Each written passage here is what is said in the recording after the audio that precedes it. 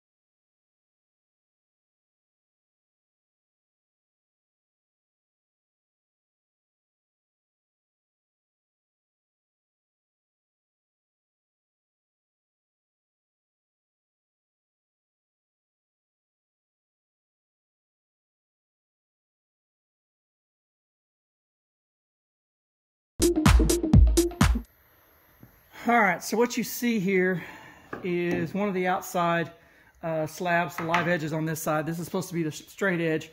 And after it dried, you can see that we have a split that came along right here. Now, good thing is I've, I cut this about six inches longer than I needed. So I will be able to take out a good portion of this, but I'm still gonna end up with this and it's gonna be on the end. So what I'm gonna attempt to do is kind of separate a little bit so that I can get in uh, some wood glue, get down in there, and then I'm gonna try to suck it back up into position and then suck it over and see if that will get it close enough to where I can glue it back together. Because once I glue it back together, uh, obviously I'm gonna go ahead and flatten this thing all the way across. That'll take care of any problems I've had here. And then I'm gonna go ahead and do another straight cut or, or plane it. I'm probably gonna have to do another cut because I had lost a piece over there. So that's what we're gonna try to do. So we'll see how that well this works out. Thank you.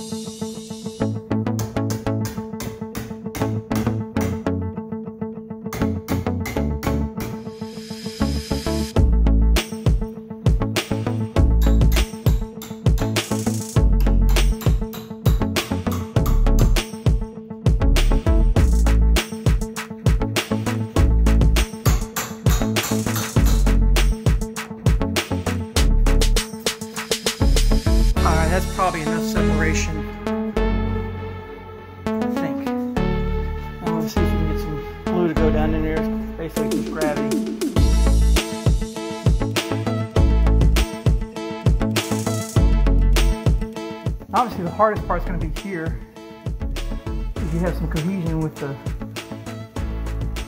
glue not wanting to go down in there. It's just kind of sticking kind of like water would. I have to kind of force it down in there, I think.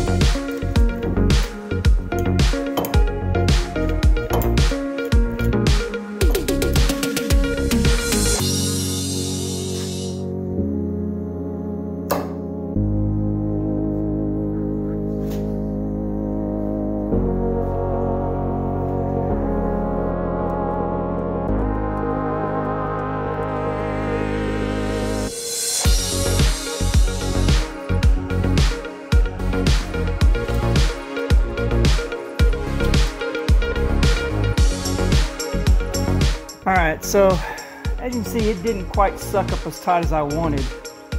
I may try to put another plant there. Just see if I can get it to get a little tighter.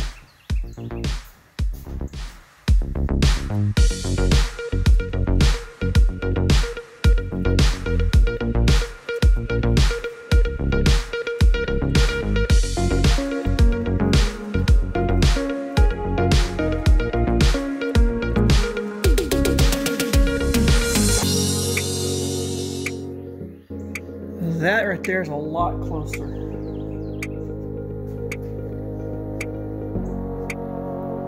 Yeah, I think that'll work. All right, so we're gonna let that dry.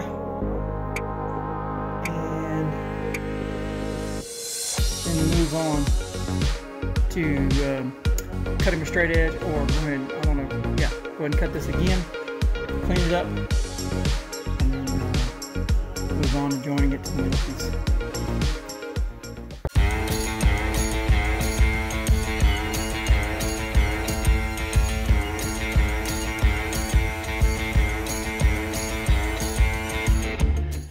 So if you're anything like me, you don't have a way to stand up these long, uh, pretty wide slabs. So like this one's like 22 inches across, a little over 10 foot long. So what I did was to get it stand up, I took some old cinder blocks and just put them right next to it. And it seems to hold it up. I mean, it's gonna wiggle a little bit, but that gives me at least uh, the ability to run the planer across the top and work on flattening this out so that I can join it uh, with the other slab, which is on my flattening table, which uh, I already put together, the two pieces. I didn't get it recorded, but anyway.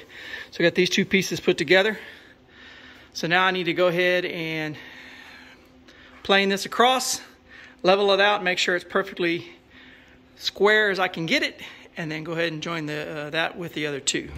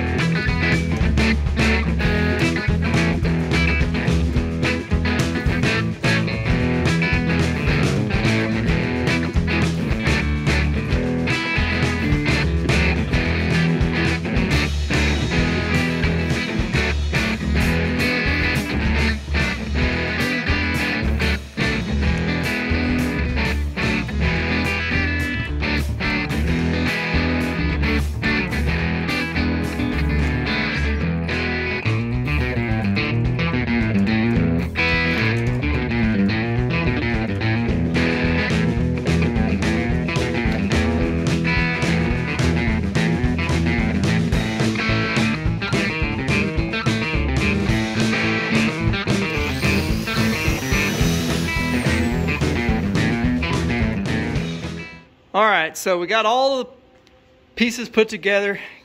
Uh, I didn't get a video of the gluing the biscuits in, uh, but you know how that works. anyway, uh, I put every clamp on here I have, trying to make sure this thing stays straight. Uh, I've got some two inch tubing here, clamped down to make sure it stays flat, and then three inch tubing there, clamped down to that two by four. So uh, hoping that will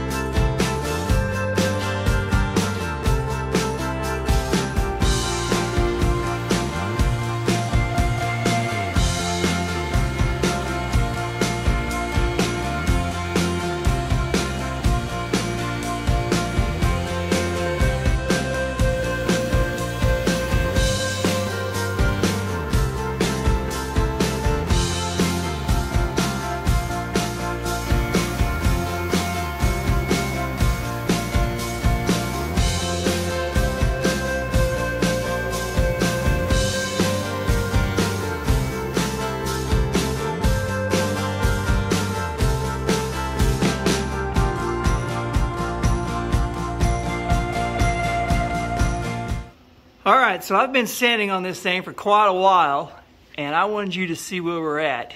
Hopefully you can see that reflection we got there. I have this sanded down to a thousand with the exception of the spot I have to do a little work on. Um, but the rest of it is sanded down to a thousand. And you can see it is pretty close to glossy even without anything on it.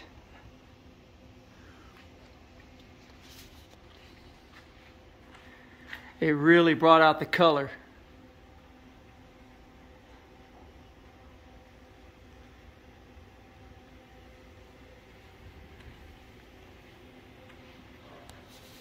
So customer has asked me to go ahead and try to turn these ends to like a live edge. So I'm gonna really uh, hit it with the the heavy duty sander and we're going to sand this thing down and give it more of a live edge look on both sides. Uh, obviously I still need to cut the other side over there and we're going to do the same thing there and then I have to work on both the live edges here. Uh, but the plan is because I still have um, still have some cracks in areas I'm going to have to epoxy. Uh, I did not want to leave the wood open uh, and uh, all the pores open because I have issue with the epoxy staining the wood darker. So what we're going to do is we're going to put one layer of our Odie's oil on there, let it dry, and then we're probably going to come in and tape up all the little holes where we're going to be filling in from the bottom, and then we'll be able to flip this thing over, and hopefully that will keep it from um, staining uh, this side here. Obviously, I've got some holes where the worms were, that go all the way through. And so we're gonna tape these up really well uh, and hope that they don't leak when I pour the epoxy in there and fill those in. All right, so I have uh, finished sanding down the top of it down to a thousand grit. Uh, I've got it just about as smooth as I want to get it. Uh, today we're going to go ahead and put on our first layer of this Odie's oil.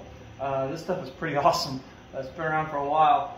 Um, put on probably up to three or so layers of this stuff, uh, and once it cures, it hardens and it won't even, you know, won't leave a water ring or anything like that. Uh, it's all natural. It's got a pretty decent little smell to it, kind of citrusy smell. But this goes on with the white scotch pad. Uh, you just buff it in there, let it sit for about two hours, and then come back and just buff it off, buff it off, buff it off until you can't even see a fingerprint on there. And uh, then let it cure for a day, and then you wait about a day between each, uh, each coat. Uh, today what we're going to do is we're going to put the first coat on, let it dry, because I need to be able to put the epoxy in there, and this wood is so porous that if I don't uh, put a layer of this Odie's oil on it and let it cure, when I go to try to put the epoxy in the holes, uh, it's going to make a dark spot. So uh, this will seal the top of it and keep that epoxy from getting down in there and making dark spots.